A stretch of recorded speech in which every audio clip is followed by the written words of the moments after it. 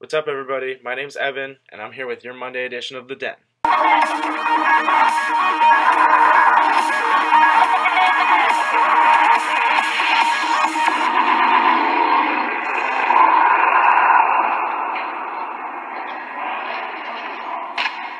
Fuck yeah! Wasn't that shit awesome? Props to the Wednesday Bear Aaron for putting that together for us. Now we have an official intro. Is that legit or what? Alright, so this week on The Den, we're supposed to be rocking our Halloween costumes. Now, unfortunately, as you can see, once again, I've clearly let you guys down.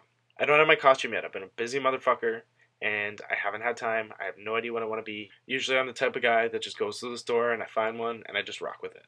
I'll make sure that I'll get a picture and I'll post it to the Den page on Facebook when I actually get one. Maybe I'll do what straight girls do and I'll be like a slut plus, you know, some sort of head accessory. You know, you gotta fucking love it. You put on like cat ears, you're a cat. You put on mouse ears, you're a mouse now. Put on a little white hat and you're a nurse. Better yet, since I wear the glasses, I could just carry around a little ruler and be a teacher.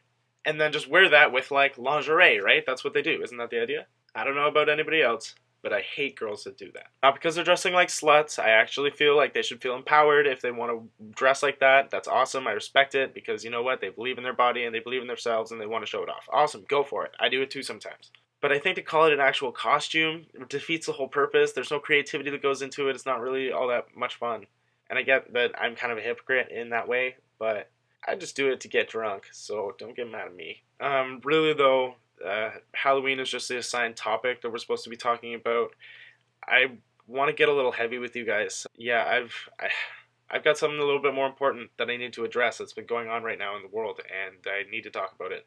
Last Wednesday, in Ottawa, Quebec, Canada experienced a tragedy of sorts.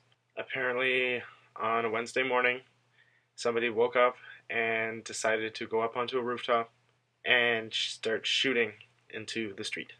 Though a number of people were injured, only one person was actually killed. That person was Officer Nathan Cirillo. He was standing guard uh, on duty at work at a war memorial on Parliament Hill in Ottawa. Apparently, after firing several shots, the perpetrator, who shall go unnamed, ran towards Parliament Hill and was eventually gunned down by Sergeant at Arms uh, Kevin Vickers, who's a long-standing officer. I guess he's a known badass. There was this whole scene where he like dove out from behind a pillar and rolled and like shot him a couple times. He had no idea how many people there were or where they were or anything. He was just ready to rock. Yeah, a guy was shot in the street in Canada. Though that does happen sometimes, you know, we've had a couple school shootings over the past few years. It still hits home every time something like this happens. You know, um, we live in a pretty fucked up world you may have seen, you know, people posting on Facebook about it. A lot of people circulated a response that was uh, put out by this guy. What was his name? Russell Maloney or Mahoney or whatever, something like that. Uh, talking about how the killer should go unnamed, that this guy shouldn't be glorified. I totally agree with that. I'm totally on board. Also, you've been hearing a lot of stuff, especially like Fox News and a little bit even on CNN, about a recent involvement with the conflict pertaining to ISIS. I don't really know about that.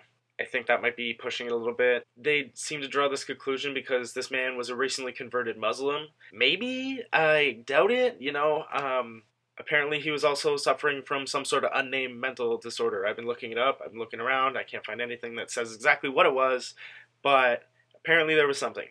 I think the word terrorist or terrorism is thrown around a lot by the media because it draws in viewers. You know, you get people freaked out, so they're always watching the news. They want to know what happened, so everybody's checking it out. I think that's really what we're dealing with mostly. A lot of propaganda is blown out of proportion. And this is unfortunate.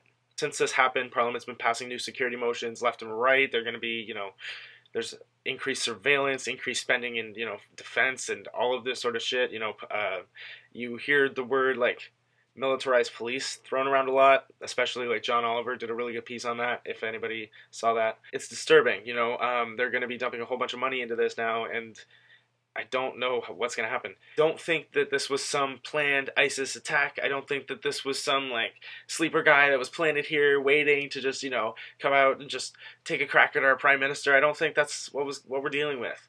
Um, I think yes, there are bad people in the world, and yes, there are definitely people in Canada that probably sympathize with ISIS, just like there's people in Canada that probably sympathize with the KKK. But you know, we don't call it a blatant attack on Canadian soil when the KKK go and beat somebody to death. So I don't see why there's this much of a reaction to it. If anybody saw the Russell Brand piece, um, he did a like a 15 minute bit where he analyzed uh, newscasts and they were all pertaining to this shooting that happened. And raised some really interesting points about how they're using this to essentially scare the population into believing that we're in danger and that we need help. Like the little headlines ticking across the bottom of the screen, uh, like when the news is on TV, like Obama is sending aid to Canada or trying to do what he can to send help in this time of need.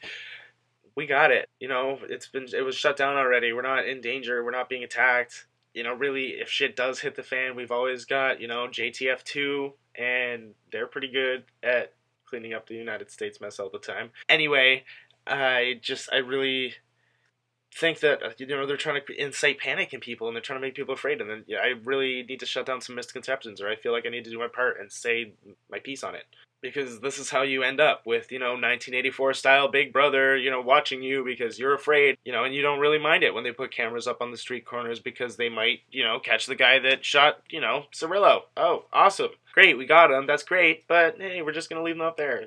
Yeah surveillance. Yeah why not? Hey it's safety. It's good for you you know, what do you guys believe? Do you think that I am wrong here? Do you think that, you know, we should let the government have free reign and do what they need to to shut this shit down? Do I need to be worried about, you know, Canada's involvement overseas and that ISIS could really pose a potential threat to us? Let me know what you think. Or if talking about all that shit's really not your bag, you can tell me what you think I should dress up as for Halloween if you have any good ideas, because I really don't have any right now.